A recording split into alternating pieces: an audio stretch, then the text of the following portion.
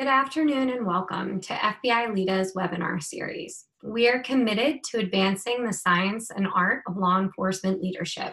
These webinars are designed to promote the exchange of information to improve law enforcement practices during a time of crisis when our physical classes have been placed on hold. All webinars will be recorded for future viewing and posted to the FBI LEEDA website. Certificates of participation will be emailed within 24 hours to all Zoom registered attendees along with any related presentation materials. These webinars are not currently post certified. Visit FBILEEDA.org for the most up-to-date webinar information. Each webinar is an average of one hour long and takes place on Thursdays at 2 p.m. Eastern Standard Time throughout the month of May. Today, our Director of Curriculum, Dr. Neil Moore, will be joined by our own FBI LEEDA instructor, Jerry Thompson, to discuss committing to continued education and growth within law enforcement. Without further ado, Dr. Neil Moore. Thank you, Laura. It's great to have you back again to the FBI LEEDA family. Welcome again. Thanks for all this support uh, during the, uh, the COVID-19 crisis. Uh, some good news, some really good news. I was talking with our chief operating officer yesterday.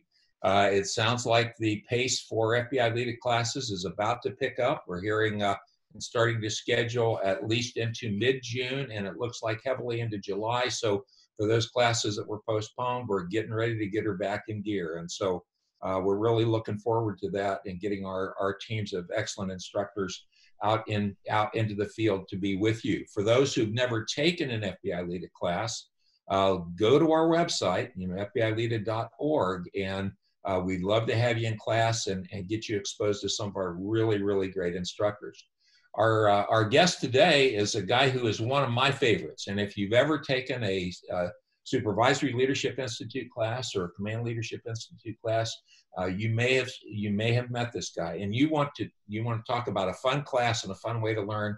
Uh, Jerry Thompson is your guy, and Jerry, I, am not blowing smoke up your skirt. What I'm telling you here is a lot of folks lo love you, and I think that is sincere. Jerry uh, spent 31 years in uh, law enforcement, having served with the Ohio State Highway Patrol. Uh, he started his career. You talk about a purpose-driven life started his career as a cadet dispatcher and ended his career as the Northeast Ohio LCS unit commander. So good, good long career. During his tenure with the Ohio State Highway Patrol, Jerry uh, spent a portion of his time teaching at my alma mater, Kent State, both on the main campus and on the Trumbull campus. So if we've got some listeners out there from Ohio, Northern Ohio, uh, Jerry, this is Jerry's stomping grounds. And so we're glad to have him here. Jerry holds a Bachelor of Science degree in Human Resource Management, a Master of Science in Organizational Leadership, working on a Master's in Education, and he is a graduate of the Northwestern University Staff and Command School. He is an entrepreneur, having taken several products successfully to market. He is the owner of Listen Recording Studio, uh, in, uh, and I think he operates out of his home for that. He's married to his beautiful wife, Beatrice. They have two grown daughters. Uh, Jerry, you've led a great life, buddy, and I know you're a busy, busy guy. Welcome to the show. And uh, I know our topic here is read to lead. Mm-hmm. And, and I think a lot of us, Jerry, that, that uh, have worked in the classroom, uh, our students will recognize the fact that most of us at some point will say, hey, leaders are readers. And, and, and that's just the reality of life. Where are you going to take us today, Jerry?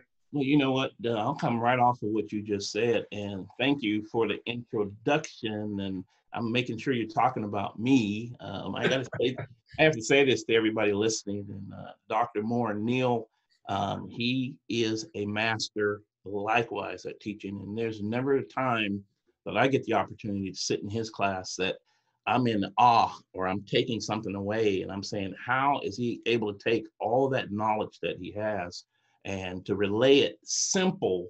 And I'm saying, making it simple that everybody can understand.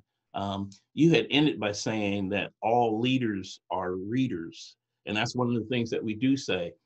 Not all readers are leaders, but all leaders honestly should be readers because um, that is where we pick up that extra knowledge that, you know, that is there. One of the things I'll say and where I'll take this, Neil, if it's okay, is that um, a lot of times when we say continual learning, and that's what it is, a lot of us will think that we're talking from an academic level, but it doesn't necessarily have to be academic. Yes, there's something to that if that's for you, okay? But it's not for everybody. But understanding that there are too many avenues or too many mediums out there now that we can go to get additional learning to increase our knowledge, our leadership knowledge. And that is like what we're doing here today um, through podcasts, um, you know, online classes. I've seen more online classes, uh, webinars, podcasts, all focused on learning. And all of us have a smartphone or a computer where we're able to go out there and grab that additional knowledge. You know, you know what I'm saying. So, yeah, it's out there, sure. Absolutely. Where are you going to start us at, Jerry? I mean, why in the heck should I read? You know what? Um, because hey, we could go to an old commercial and everybody who knows me is I'm going to smile and laugh, but um, because reading is fundamental, number one, you know, but not only is reading fundamental, I actually want to show you something here and I'm going to share my screen with everybody here for a second. And um, as we get this up here, right here, and if you can see that screen, you can see that um, when we're talking about that learning, it, there's something that's different between knowing versus learning. And when we're growing up, and guys, um, if you ever had me in class, depending on what class you had, you would have heard me say this. We learned under what we call the organized model. And that is when you're sitting in school and you hear, you gather information, and reportedly, you're supposed to know it. You're supposed to know it. And I think many of us can relate to if you've been in school or in college where you're not even paying attention while some of the information is coming out, but you gather just enough information to pass whatever that test may be, um, what, whatever that rubric is that we that the teachers are using. You just gather just enough information to know. Um, and then once you have passed that instrument or whatever it may be, technically the knowledge is gone. I like to use the example of how many of us took algebra, maybe calculus, or one of those type subjects. And since you graduated, how many times have you used it? But it was it's so important at that time that you had to pass it and it was necessary information. I moved down to what you see where it says the acquisition model. And that I think is something that we do uh, very well, Neil, in the classroom, because learning is not just by gathering the information, but it's listening, learning, and more importantly, with FBI LEEDA, we're stressing, okay, you can hear all this, you can get all the nuggets and takeaways that you want to get, but now what are you going to do with it? What are you going to do with it? So it's a combination of not one or the other. It's not either or, it's both and. Yes, I got to get the knowledge. Yes, I got to gather some information, but the true learning doesn't take place until what I have garnered, I actually put into practice. And just a quick model that I show, um, that's the importance that we continue to do. It's not just in the knowing, it's in the knowing, grabbing those nuggets and takeaways, and then in the doing. And I'm going to pull this off. I think I can do that right there. And there I am back. Yep. Okay. So Good. it all, it, it all can come, and I was going to say that, you know, obviously everybody is not readers in the sense of where they're going to take a physical book. And I'm grabbing a book showing, I'm reading this one right now called Stumbling on Happiness. In fact, actually, I have finished it, and it's by Dan Gilbert. Um, okay. A great read. Done with that one. The next one I'm showing is The Noticer, and this is by Andy Andrews. I don't know how it's shown on the camera, but this is a good read. A lot of times, us as law enforcement officers and people, we think that it has to be just necessarily law enforcement. Right. But it doesn't this book right here, Andy Andrews, for me, myself, and the type of books that I like to read, The Noticer Returns, of course, there was The Noticer. Um, great read about leadership and noticing the small things that your people are doing um, and acknowledging them. Go ahead. Okay. Okay. So, Jerry, how does The Noticer make you a better thinker? Whew. it first of all makes me to realize that things aren't necessarily going to happen the way that I think they're going to happen. And I have to pay attention to those small things because those small things are the triggers oftentimes. And I guess that's, that's a good word. Those small things are the triggers that will give you the nuggets and takeaways. We always think it has to be something big. And I'm smiling because I'm, I'm looking at you and I see my hands moving. People know in the class, I'm always moving my hands uh, or moving, yes, sir. moving around. Um, so I'm going to try to hold them down here. But be yourself, Jerry. Be yourself. we always look for those big things, and we think that it has to be something so profound and so deep, but it's not. The noticer is saying, pay attention to the small things. And so, as you pay attention to the small things, really kind of like the big things kind of take care of themselves. Um, a very good read, a, a very good read that I would recommend for sure.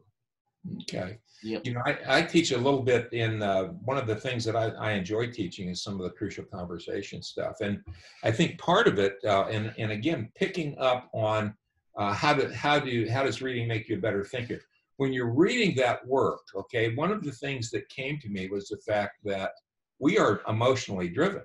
Uh, most people are emotionally driven. And one of the things that happens is if I'm getting ready to sit down with that that person how, that I know I'm going to have a crucial conversation with, is just trying to read who that person is. Okay, are they quiet? Are they aggressive? Are they cynical? Uh, are they listening? I mean, and so, but I don't know that I would have originally picked that concept up. That when I sit down on a crucial conversation, I need to be looking at the person I'm about to talk with and trying to read if their emotions are more in control at that moment or if they're able to listen and their logic is more in, in line uh, with what we're about to discuss because it would make a big difference on, on how they listen. So uh, again, I would concur. I, I, I, think that one of the things that happens with uh, reading is the fact it makes you a better thinker and you start picking up some things, some other nuggets that other people have given us. So um, good point, Jerry. It's a really good point. Well, you know, you when you talk about crucial conversations, and here again, this book, The Noticer, uh, would be relevant to something like that. Um, is noticing where that person is at, and I think that's also why it's important. Um, and of course, we do this in SLI when we're doing the DISC and understanding people. Um, one of my favorite classes um, is, is the DISC, and really understanding people understanding, of course, first yourself and then the people, and then noticing.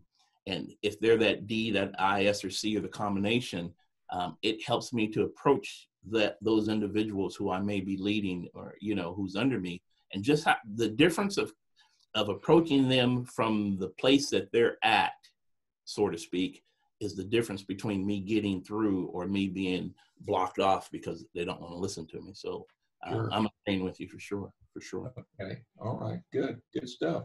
Yeah. Gentlemen, uh, we actually have a comment that came in, not necessarily a question, but I'd like okay. to bring it to your attention because I think that it may be the case for many. Um, we had someone comment that continued education is never discussed at my agency. What recommendations do you have for someone, regardless of where they are in their ranking, and how to introduce education and learning as a commitment in their agency? Wow. I'm gonna I'm gonna grab on the back end of that, Neil, and you can grab on whichever end you want. Okay. Um, everybody's not going to necessarily see it okay? And there's actually something that i wrote down if i could find it in here. Um, a lot of times in leadership we'll think that it's finality meaning that hey i'm now the supervisor i'm the chief i'm the who, whatever position that you are and there's finality. And what i had wrote that uh, finality in leadership it doesn't exist. So this is that learning that you're talking about. How do i get that continuing education um, first of all, recognizing that you, you never arrive, you never arrive, and that you always have to be moving, that your learning cannot become static. Unfortunately, depending on who the leadership is, and here again, we can look at it from a generational perspective. We can look at it that many leaders will think that they're successful because they have that quote unquote that title. Um, so I don't need that. Well, one of the ways that it gets introduced, and this is in my humble opinion, is that if you recognize it, you begin to do it. And then not only that, you know, I will often tell people, please begin to prepare yourself to get in a position where you can make change. And once you're in that position, make change. You may be that catalyst. You may be that individual that is called to introduce that. And so get going, get in that position, to be able to make change, and then make that change if it's not happening any other way. Neil, I'll I'll defer. You. Yeah, I, let me dovetail on that, Jerry. I mean, uh, I'm an old football guy, and I, and I like to listen to these football coaches. Dabo Swinney down at down at Clemson, he's got a saying, "Bloom where you're planted." Okay, and really, what he's trying to tell us there is, you may not be able to control the upper echelons of your police department. Probably aren't. Okay, but there's nothing wrong with if you believe in continual education and say you're a supervisor or even a patrol officer. Are you talking about what you're reading? Are you talking about and showing people that I'm, I'm pursuing my work, um, additional educational work, or I'm striving to get to other places where I can acquire knowledge? So, I mean, so part of it is model the behavior. Um, an, an, interesting thing that was done when I was running an institute at uh, Police Leadership Institute in Texas was uh, ad hoc book clubs within a police department. I had never thought of that. I'm an old baby boomer cop, uh, my guys and gals would have thought that I'd lost my mind if I would have started to try a book club. Uh, but yet, in that North Texas area, there were in police department book clubs where they would take a leadership text. Half a dozen of them would agree to read the thing and then meet at a coffee shop uh, on some Saturday afternoon and talk about the takeaways that they had. That's easily done right at the you know right at the line level. So I would say the first thing you can do if you if you have a, a, a group that where you don't see that continuing education leadership from the top, bloom where you're planted. Let, let's start modeling that behavior that, that we want to see in our organization, and people will pay attention to you. I think uh, that's one of the other messages that, especially you all give an SLI. So, good stuff. Well, you can add into that, you know, and remembering that again, it doesn't have to necessarily be in that book form um, but a podcast and just suggesting, hey man, have you heard this? Why don't you listen to this? You know, I can kick out real quick Simon Sinek. Um, other, and there's many, I'm just saying Simon, start with why, all those different things yep. like that. But there's many others. And it may just be that one, maybe that, that two, okay? And one of the things that um, I like is that it doesn't necessarily have to come from up above. There's a saying that says, sheep draw sheep, and I'm not calling anybody a sheep. Hear what I'm saying? somebody said he calling me a sheep. I'm not calling anybody a sheep. Sheep draw sheep. Okay, sheep attract sheep. So if if you're kind of like that lead sheep um, or that informal leader, um, you can begin to inspire inspire others to begin to, you know, man, hey, I read this. What you think about this? And I, Neil, here, see, this is what I'm talking about, Neil. A book club. Never even thought of it but it's a great thing and it's something that needs to happen within our ranks for sure. Absolutely. Absolutely. Yeah. Good great question. Good stuff. Good comment. Yeah. Um, jerry let me ask you this does uh, what do you think about the connection between reading and becoming a better communicator um, there's definitely a connection how i will explain that is Wow. I didn't know that one was coming, y'all. So y'all don't think that all of this is planned out there. So this is a great one. Um, I think reading does help you to better communicate. I look, guys, I'm from Youngstown. I'm an inner city kid, and I can throw all the slang and all those different things at you when I when I want to. Um, but by adding to my knowledge via reading, there's words that now I understand and that I can use proper. I got to say this, Neil, and you said this, and this prompts my memory. When I was a post commander down in uh, Lisbon, Ohio, uh, that's Columbiana County in Ohio, some of you might know where I'm talking about. Um, I used to write formal correspondence that would go to our captain or to the district or to whoever um, uppers. All right. It wasn't until I had a, an administrative assistant. Her name was Lynette, and I would have her proof my uh, documents. Okay. And being humble enough to understand, she would come back and say, "Hey, uh, Luke, this word that you used here," and she would ask me real kind. She would say, "What does it mean?" And I'd be like, well, it means this, this, this. You know, in Youngstown, this is what it means. And she says, hey, Luke, why, why don't you check that word? And she was the one that began to prompt me to keep a dictionary nearby. And she would always say, if you're not sure, check it and watch. Y'all, hey, I'm a post commander. It would have been very easy to say, well, who do th- who you think you are? No. So that via that that is what began me to begin to understand words and we can say some words that we think we know what we're saying but they're not and it's very very important that in communication especially in written and also spoken communication that you're you're talking accurate that the meaning that you're meaning to get across is coming across and i think by reading books by listening to other people talk um, just here again, noticing those small things, it makes a difference in the communications that do take place, Neil. Yeah. Yeah. I, I concur. I mean, uh, one of the, and Jerry knows me and, and a lot of folks know me. I mean, one of the streams that I like to read is the whole area of the emerging neuroscience. And uh, I couldn't, I couldn't spell amygdala before I read it in the book. So, so uh, now I even know what it is. So, I mean, the, the blessing is that we get exposed to new words and, and we under, start to understand how to use them, and I think it helps them uh, helps us uh, even in our in our professional lives. Yeah. So um, that's it. Uh, anything else on your mind before I fire another question at you, Jerry? No, go for it. I'm I'm good. Good. Okay. okay. Yep. Um, let me uh, let me ask another question. Um, talk about reading and reminders. I mean, are there things? I mean, if I've read a book, uh, what's the reminder part? Will, will reading help me be reminded of things? Yes and no. And I'm going to say this.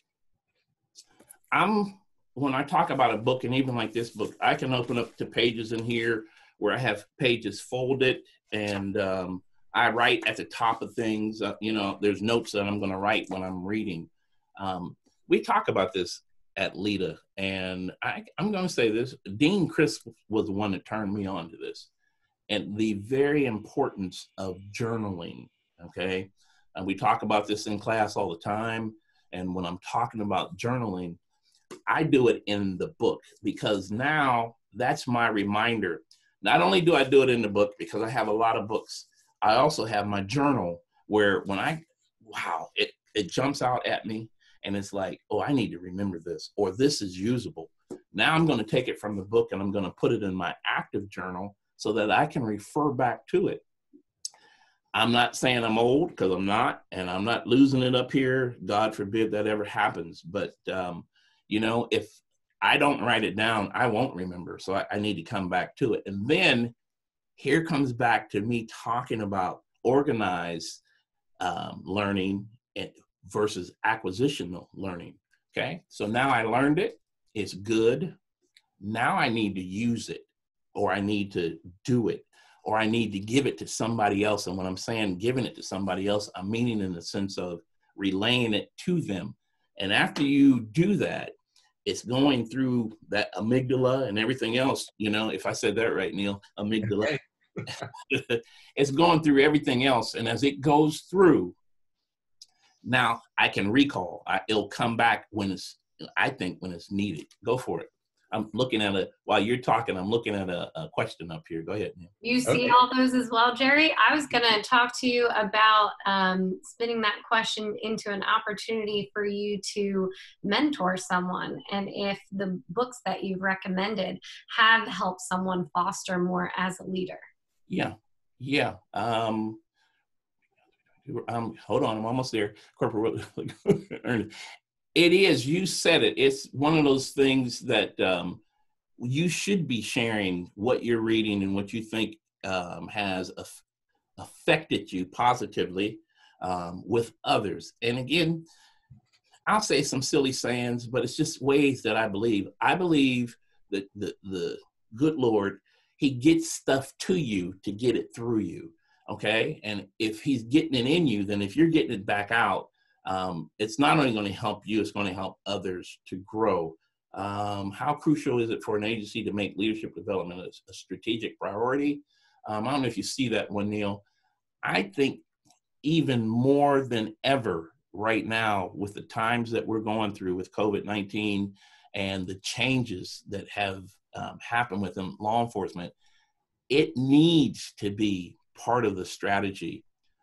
And I'm talking about short term, long term. How are we going to improve our people's knowledge? How are we going to make them better officers? Our officers are being required to do things that in my, I started back in the 70s, that I never thought in, my life that we would be doing, okay? Yeah. Um, and our big focus is co- community, you know, uh, community development and community. Um, what's the word, Neil? Because that's where you master community at. policing. Yeah, community, community, community policing. You know, yeah. uh, it requires us to deal and talk to people in the community that they expect us to be at a certain level. Um, and so that comes back to the conversation we were having earlier of where can that come in useful. Mm-hmm. I understand when I'm talking to um, when I'm talking to somebody on the streets and, and they're a street person, I can be there. But then also, if I'm making a formal presentation or I'm trying to get buy-in from the community, I'm not going to be able to use that same type of language necessarily. I'm not going. I need to use words that are relative to them. Go ahead, now. So you're about to say something. Mm-hmm. Oh no, I was. What I was going to do is kind of tie in here. I mean, I know you teach credibility as one of the blocks you teach. I've taught it. And I mean, when we look at Kouzes and Posner's work, I mean, clearly one of the one of the cornerstones of credibility is the fact that we're forward thinking. Uh, and so that forward thinking also happens to be an element of strategic thinking. And you talk about a time that it's needed right now. I mean, uh, what? How is this? How is this pandemic going to move policing? How different is it going to look six months from now, a year from now, five years from now, because of what we've gone through? So strategic thinking absolutely should be a part of, of what all police departments are doing right now. And to get there, to really get there, you have to engage in the acquisition of more knowledge and you have to start applying the knowledge that you're gaining so that so that we have a better understanding of how we're going to deal with pandemics and the aftermath in the future and that i think there's a huge tie between uh, reading strategic thinking and us being able to continue to be viable um, as a, the most visible arm of government uh, into the future. So I think it's a good point. Likewise. Hey, Andrew, I see your question up there. And uh, Andrew's question, if everybody can't see it, it ends with How do you believe a great leader should be defined in the law enforcement world? And man, that topic could be very, very wide. Um, but I, for me, and uh, Neil, please bounce off of me when I say this. Okay. How do you believe a great leader should be defined in the law enforcement world? I think it should. They're defined by someone that you're willing to follow. If you're willing to follow that person, and that looks different in different situations, um, it.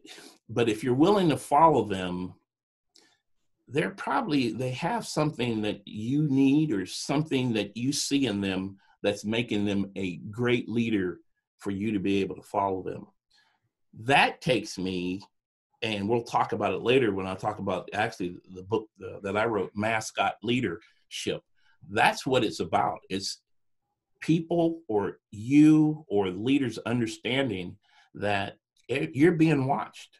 Mm-hmm everything you say, everything you do is being watched. And um, part of being that great leader is being a person of your word. And I can go down the whole trust because trust is very in, important with me.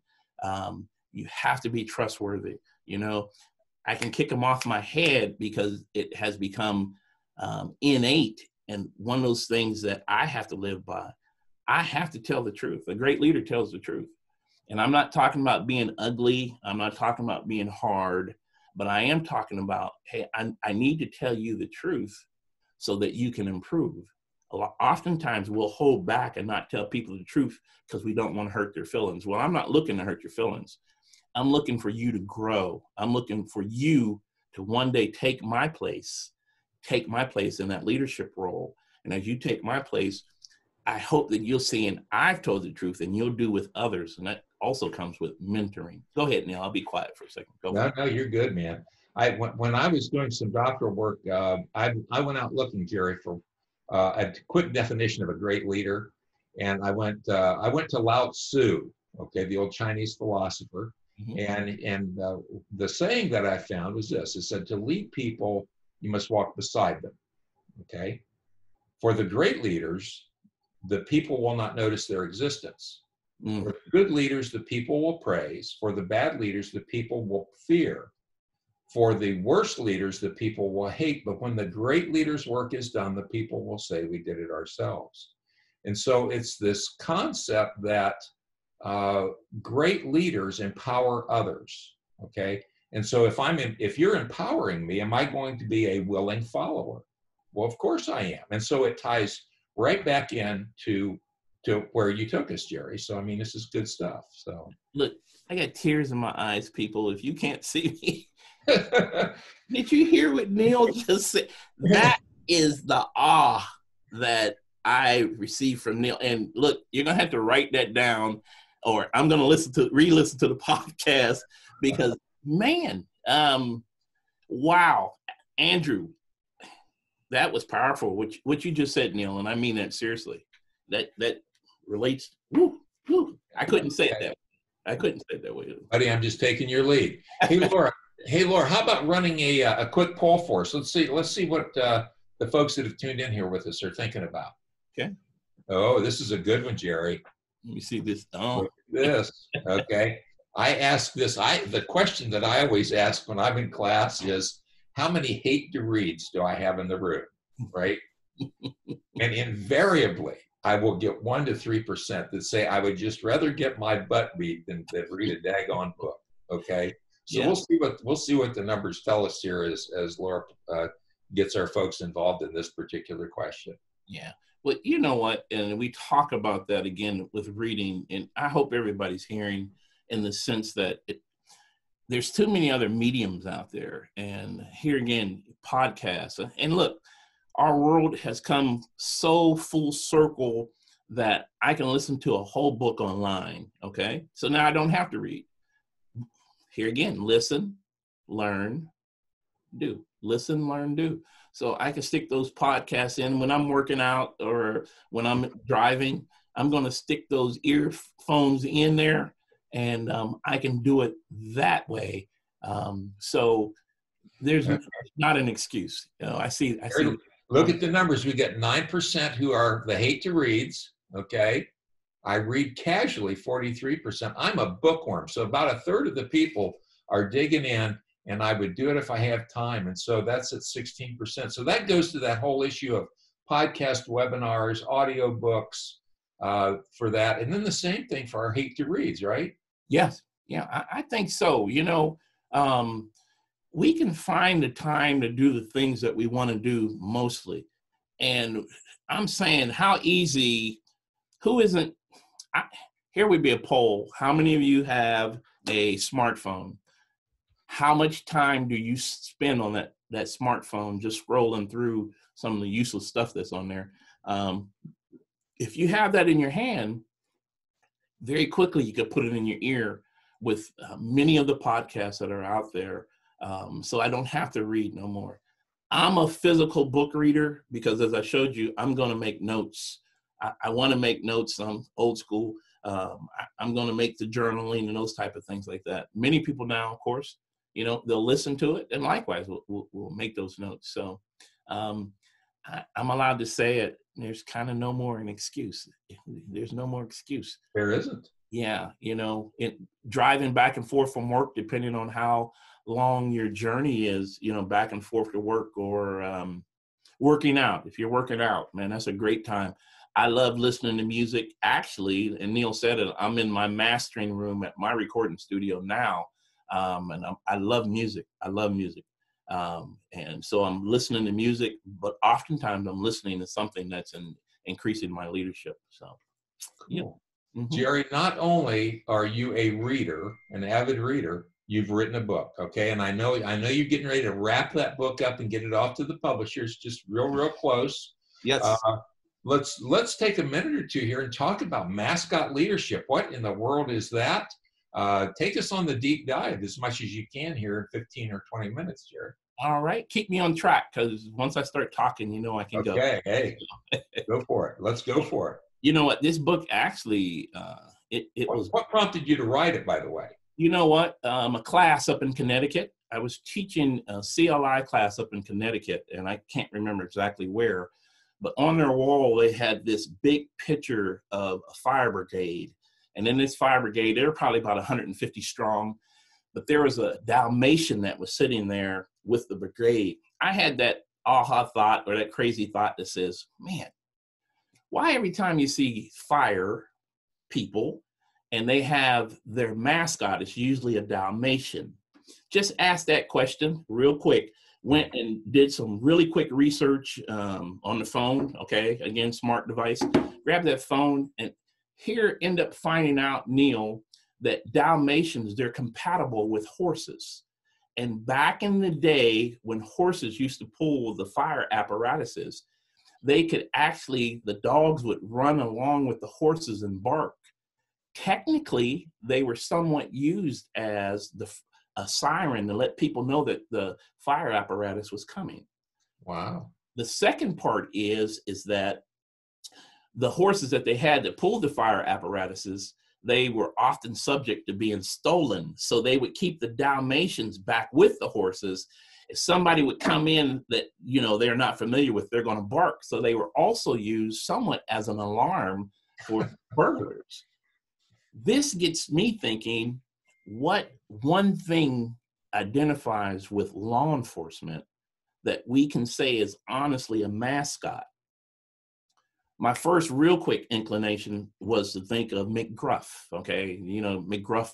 Yeah. But McGruff is more a crime dog, and not necessarily. I'm going to say law enforcement uh, in a whole.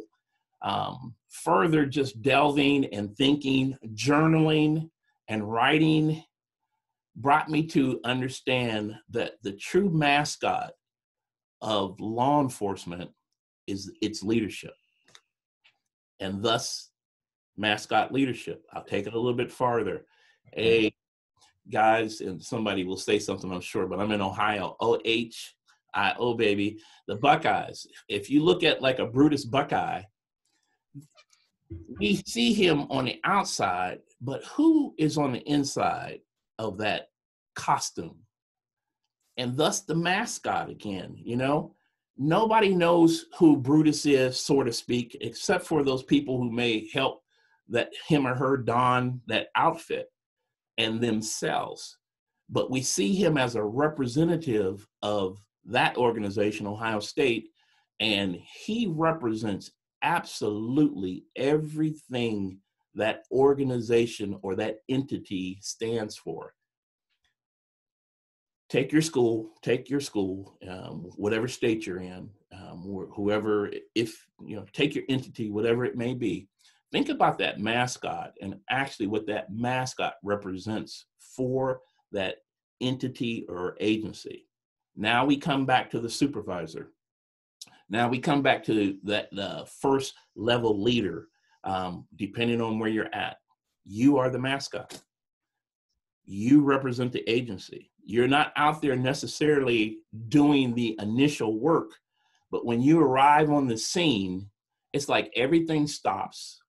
Everybody who's working, they're going to turn to you, and others who are looking, they're saying, Whoa, I don't know who this person is. They might not understand rank, they may not understand it, but they understand when they can see, okay, everybody's talking to this person. So this person has to be somebody important thus again the mascot uh, analogy that I use. So that's where it started. Uh, long and short. Yeah. All right. So we got you started. Okay. So what, what journey are you going to take us on when we start reading this book, Jerry?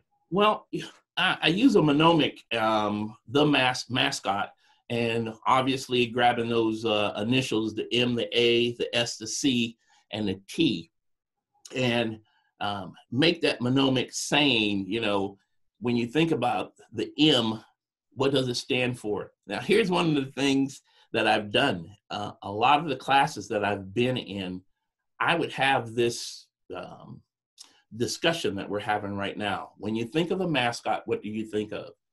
And uh, I would get all type of answers, you know, of mascot, this is what they are, so on and so forth. Um, but then I would turn it. When you think of a leader, what do you think of? So there were some things that stood out, and I have all the pictures of the charts that I wrote, and we're taking them and seeing what words kept coming up. So for the M, one of the words that kept coming up was memorable. You want to be a leader, that mascot leader that's memorable. And in a sense, when I'm talking about memorable, we're talking about good memorable. It's like that question that Adam had asked earlier What's a great leader? Think about the person that you would consider to be that great leader. What are you remembering about them? What was that positive thing? Um, or the way that they carried themselves, whatever it was that was memorable to you. But here's another thing. When I talk about memorable, memorable, of course, there's that negative side where some people are remembered because they were bad leaders. Right. I confess, I, I have to confess, when I first became a lieutenant, I, I wasn't a good leader. And it wasn't that I was being um, malicious or mean spirited or anything in that line. I just didn't understand what I didn't know. Yeah. And people were trying to help me. And back at that time, I'm like, I was answering with Andrew again, where I'm saying, well, shoot, I'm the leader. Well, yeah, you could be the leader, but that doesn't mean you know everything. Okay. You might be the supervisor, but that honestly doesn't give you supervision. And that is why, again, um, that learning cannot become static. It, you have to recognize. Oftentimes, Neil, I, I tell a story in class where it wasn't until I got a visit from our major of operations. He flew from Columbus up to where I was a post commander at that time. And when he came in, it wasn't it wasn't a conversation. It was a monologue. He told me to sit down. Okay. And he let me know. He said this really clear. You have no clue what you're doing. Wow. And, yeah. And if you don't turn this place around, we're about to remove you out of leadership. Oh my goodness. Yeah.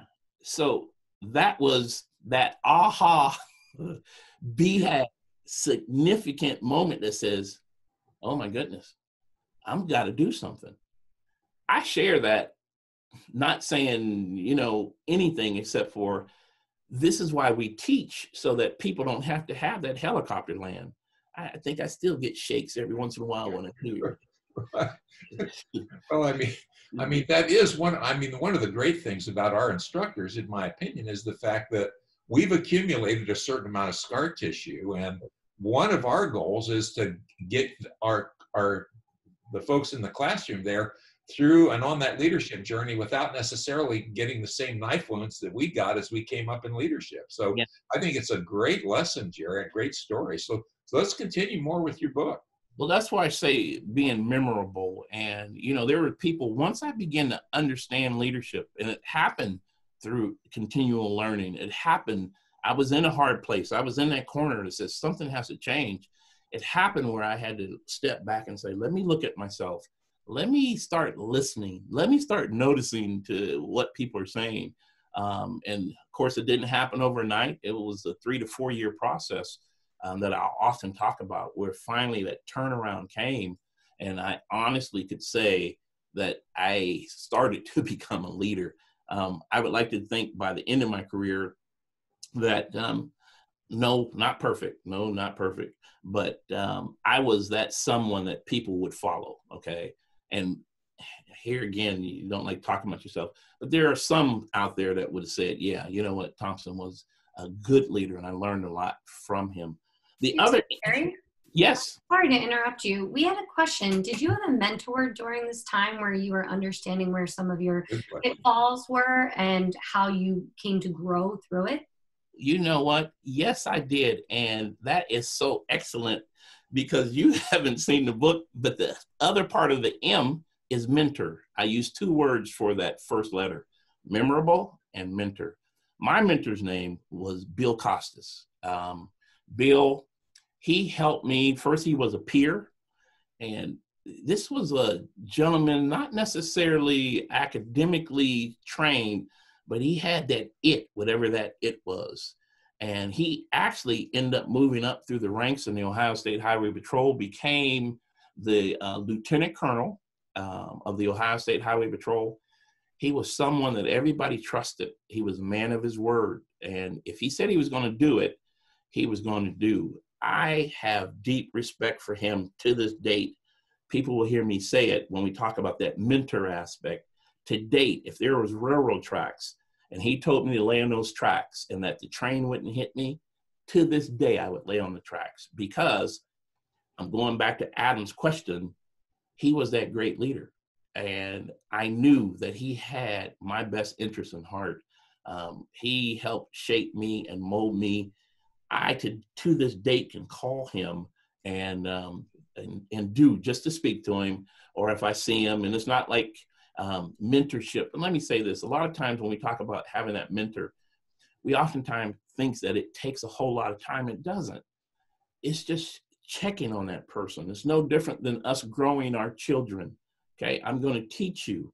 I want you to get better. I'm asking you to do this or handle this responsibility because one day I can see you taking my place. One day I can see you taking my place. So mentoring um, is very important, and all of us should have a mentor. In fact, in fact, in where I'm at in the other room, um, one of my best friends, me and him, we mentor each other. Um, we hold each other accountable. So it's not being weak. And I got to say this also having a mentor is not being weak. And us in law enforcement, oftentimes will say, well, you know, no, no, no, no, no. You, if you don't know everything, and if, when we talk about it in this, this is out of the book, and this is not in the book, but when we talk about it in this, all of us have that blind spot. I want that mentor who's going to be honest with me to say, hey, Jerry, you're not looking at this from the right perspective. You need to consider this. Have you ever thought this way? No, this is how it's being viewed. Um, so, how important it is, how important it is. So, that's the second part of the M is the mentor. Um, I'll keep moving, Neil, if that's okay. Yeah, let's go. I want to hear more. Yeah, I'm going to say, and somebody is asking anonymous books on how to lead um, with someone, and I'll just say who micromanages. This is not my book, but one of those books that I think is very important. If you've been in any class, you've heard me say this Leadership and Self Deception by the Arbinger Institute. Leadership and Self Deception. Um, in fact, one of the instructors that Jen Harris, and I think I've seen her name out there, Jen was the one that turned me on to leadership and self deception. That book, for me, changed even how I look at leadership. And there's other books that are connected to it.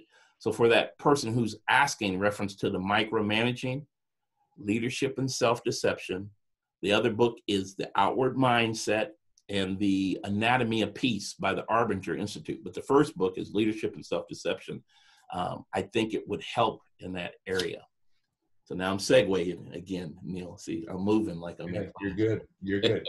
Talk to me about the A in mascot, buddy. The A uh, stands for authentic, being authentic, and um, they are uh, that one being who you really are. Uh, one of the things sometimes that in my own self talk is is that mm, people aren't going to like me how I am. But see, I'm not Neil, and I'm not Laura. I'm not any of the other instructors.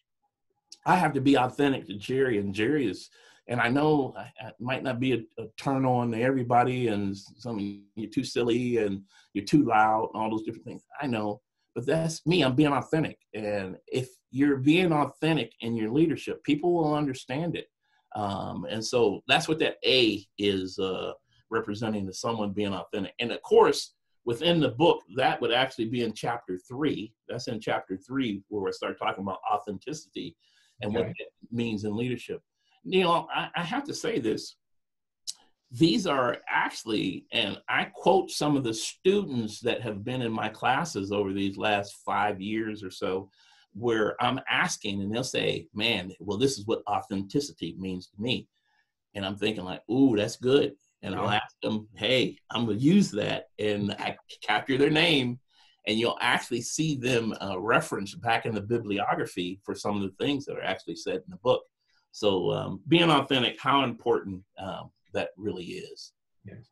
If I move to the S, and I will uh, for the sake of time, S, it talks about serving a mascot leader or a good leader is a serving leader.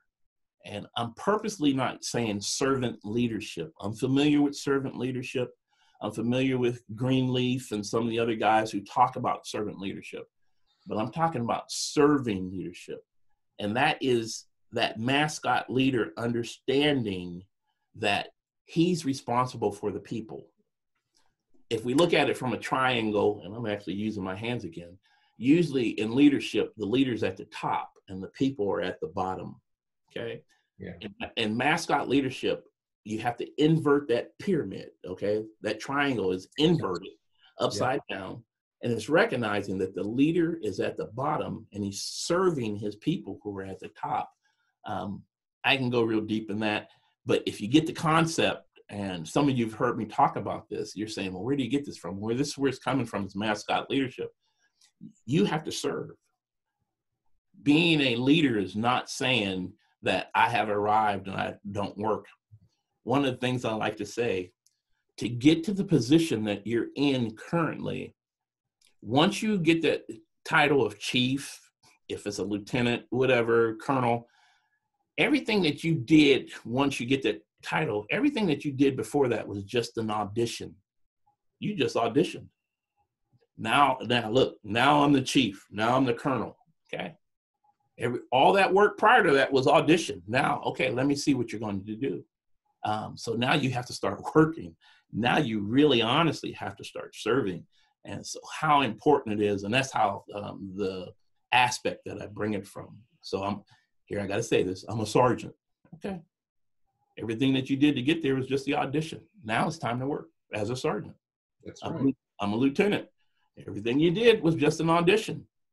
Now it's time to work. So um, that's where I talk about serving. Okay. Um, I'm at competent, and that's the C. So again, for those who might just be coming on, I'm using a mnemonic of mascot, M A S C O T. Um, the, the C is standing for competent. And uh, when we talk about competent, and even when I ask people in the class about competent, uh, there's a lot of words that come up and one would be informed, one would be experience, one is knowledge. Um, I like the word, all those words are part of being competent. But more important, I think, is the word wisdom. Ah, very good. Because when you're talking about being competent, you have to take the knowledge, okay? That could be, we're talking about books and reading and continuing your education. Um, you have to take that experience and all those things have to come together and it has to turn into wisdom, into a working wisdom. Um, any of you who are leaders out there, and I have to just be me, and that's go to uh, the Bible says it quite well. It, of all you're getting, get knowledge and understanding, but the one word that they use in there is wisdom. And wisdom helps you to be that great leader. Again, I keep referring back to Andrew because that was a great question, Andrew. Yeah. Wisdom is that thing that helps you to become that great leader um, that is necessary. So, Neil, where are we at in time? I'm curious. We're still good, Jerry. I think let's let's keep keep going. I'm gonna. I think you can get all the way through the the mnemonic.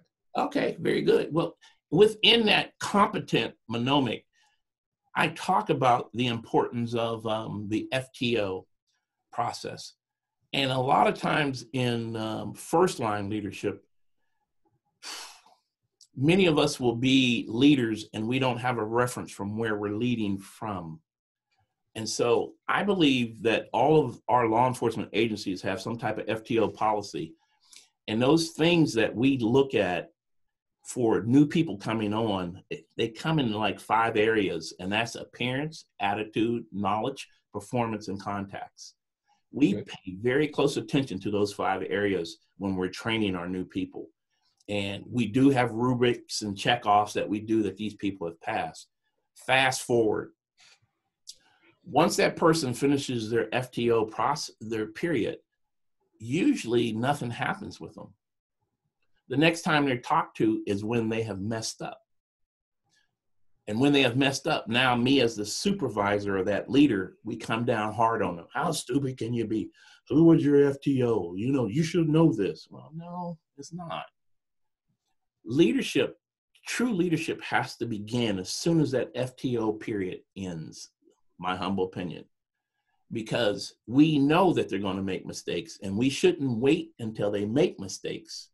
I oftentimes would use the example um, that we have said within our ranks, and I, am guilty of saying, "Oh yeah, seen that coming."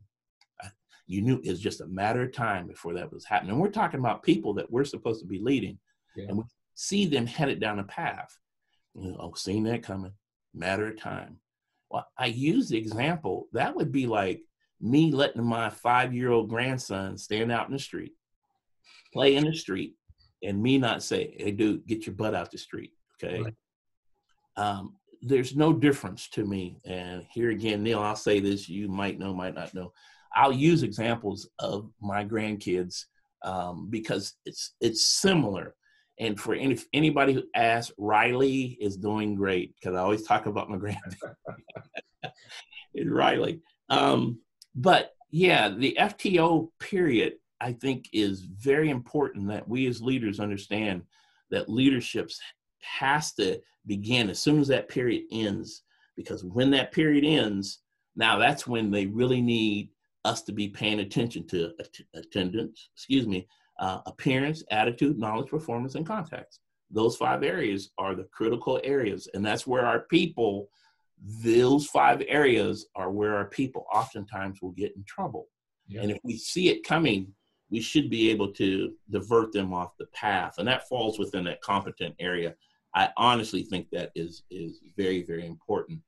Finishing up, if I talk about the O, I'm talking about optimistic, uh, being optimistic. And when I'm saying that, I, will just use the word um, hopeful.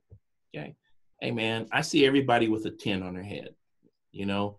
And yeah, maybe this officer messed up in this area. Who out there, if you're listening, could raise their hand and say, You've never made a mistake? And I can't see in the virtual digital world, but um, you know, I can't raise mine. I told you I was I was a bad leader, uh, not because I wanted to be. I just didn't know better. I didn't have training, and uh, there wasn't an FBI LEEDA at that time or anything in that line. But when I'm saying optimistic, I'm talking about honestly being hopeful, knowing that I can help this person get better. Our organization is going to get better. Look, if that person who's in leadership is not maybe the best, I can be hopeful that I can again, I can rise to that level. And then once I get into that that position, I can be that person that makes that change. Cool. Uh, how important it is. So optimistic. And then the last, the T, the T could be the foundation because that T in mascot is standing for trust. Uh, critical, critical. It's the foundation to leadership. It's also the foundation to relationship. Um, so the mascot leader encompasses those areas. Um, and again, we break it, I broke it down into chapters within the book. Um, I think it's a fun read. It's written kind of like how Jerry Thompson talks. okay. Good. yeah. So, you know, like a squirrel. Okay, there's a squirrel. Yeah, I could change and still falling within, but it's, it's written how I talk. Um, and it's not a, a, an academic read. Let me say that. And then Neil, there's pictures in it too. There's pictures. Oh, okay, for that's for me. That's for my type of reader. Okay. I need the pictures. Jerry, when when is your book coming out? Because I know the people that are that are still with us uh, are going to want to know when your book is coming out. When when can we start looking for it? It, it should be here in September. Um, I'm more than 45 days out. Technically, it's 45 days out, but I know just anybody else who has written anything out there, uh, you know, you say 45 days. Um, I would like to sit here and say the beginning of July, but I know by September for sure it will be out, and um, we'll make the information available and hope that you guys will share it uh, with everybody. Okay, all right. Laura, do we have any other questions here? I know we're nearing the end of our hour here. Do we have any other questions waiting? It doesn't look like we do at this particular time. So if I can, I'm going to share this screen with us. We'll get going and we'll wrap up some information about next week's session. Hey, All right. okay. Who do we have next week, Laura? All right, next week, if I can pull this up a little bit, um, it looks like next week we are going to have Mike Mason joining us. Now, Mike Mason is the Senior Vice President and Chief Security Officer with Verizon Corporate Security, and the topic will be leading your path fostering a career and planning for transition. He has a number of years experience both in the private and public sector and also working for Verizon. So we're very excited to have him. Just as a reminder, that will take place next Thursday at 2 p.m. That will be the last of our May webinar series. And for more information about the FBI LEEDA webinars or to view the recording of today's webinar, please go to FBILEEDA.org. Thank you so much, Jerry, for joining us today. Neil, as well, you both have done an amazing job, and we so appreciate your insights. Jerry, nice seeing you again, my friend. Well, likewise, and thank you for the opportunity. Okay, see you soon. All righty. And we'll see you soon uh, next next week, next Thursday with Michael Mason. Thank you.